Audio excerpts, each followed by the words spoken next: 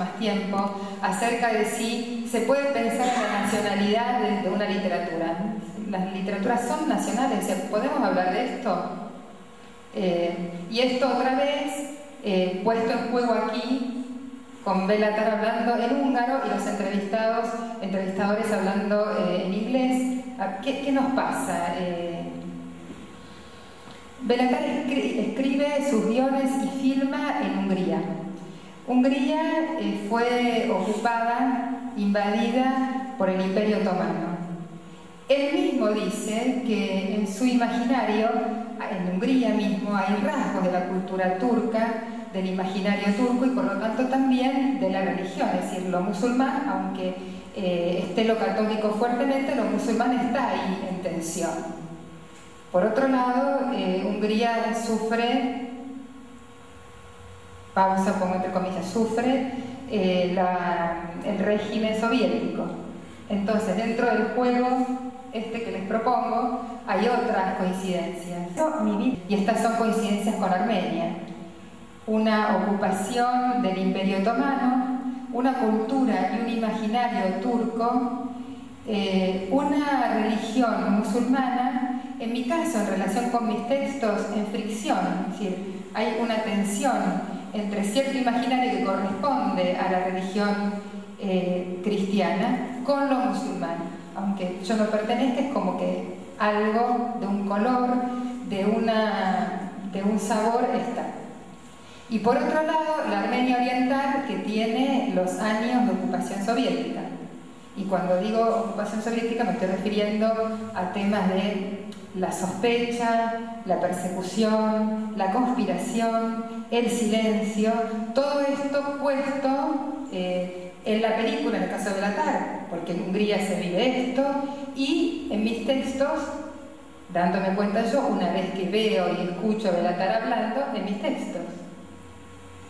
Entonces, eh, se puede pensar, podría yo pensar, acaso, eh, sobre una nacionalidad de mis textos, entonces no serían del todo argentinos, no serían del todo armenios, serían diaspóricos, si fuese posible, aunque claro, esto nos lleva a pensar otra cuestión.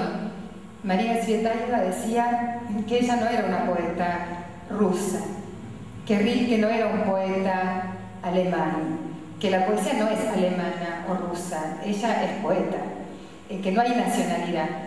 Entonces quizá también podemos pensar que no hay tal nacionalidad, pero sí entender ciertos rasgos o cierto imaginario en esto que les decía de las escenas, de lo claustrofóbico, de, una idea de la destrucción. En este juego de las coincidencias aparece otra clave. Belatar dice que filma la destrucción de la inocencia. Y creo que de eso se trata. Eh, porque en mis textos, en casi todos, hay un, esqueleto, si se quiere, violento, y esta violencia no es más que una destrucción de algo que se pretende inocente. Algunos eh, hablan de Belatar como eh, resistente y hablan de cierta melancolía de la resistencia. Hay algo melancólico en la obra de él. Eh, no es así, en mis no hay alguna cuestión melancólica, pero en este juego de coincidencias puedo decir que sí hay algo resistente. Eh, este es el juego. Cuando llegamos una vez instalados en el juego, vemos las reglas, yo ya se las presenté, podemos hacer lo siguiente, quedamos acá o apostamos un poquito más a jugar más. Y entonces pensaba que jugar más era tomar unas imágenes, unas escenas de las películas de Belatar, en este caso las que elegí son Carousel, Damnation o La Condena, que es la misma película, eh, y Vermaster Armonia, que es armonía de la obra de arte maestra.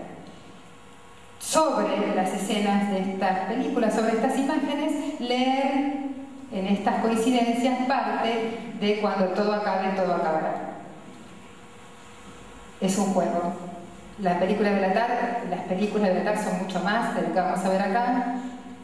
El libro, cuando todo acabe, también tiene otras, otros ángulos que no los vamos a ver del todo acá. Pero bueno, eh, los juegos son así, a veces se recortan y jugamos en ese recorte. Bueno, le voy a pedir al director eh, si podemos empezar con la película.